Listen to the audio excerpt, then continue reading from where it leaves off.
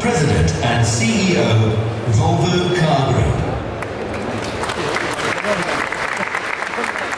Ladies and gentlemen, a big welcome to the Volvo press conference here at the Paris 2014. We are very glad to be here in Paris.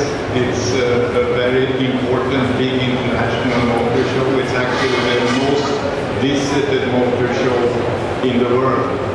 And uh, we are very pleased also to be here with some interesting news. And uh, going back, the journey leading to this release started in uh, 2010 after uh, our company was uh, acquired by DB Audit.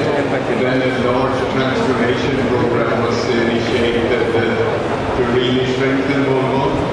It's all about increasing capacity, building new factories in China. Right now we have two assembly factories and an engine factory operational in China.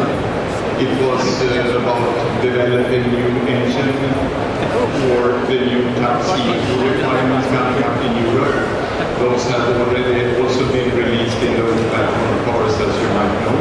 And it was also starting a new technical development of a new product architecture, the SPA architecture, which then will be the basis and a modular basis for all future Volvos to come. And um, I'm very pleased to today here in Paris uh, present the first result of this transformation uh, program. It's a all-new XC90 and it is 100% developed Volvo car.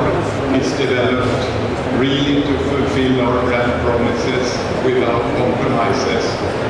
And it will be delivering leading safety features it will be delivering a lot of smart functionality and it will be also delivering a very attractive design. The reaction so far from customers have been very positive. We have sold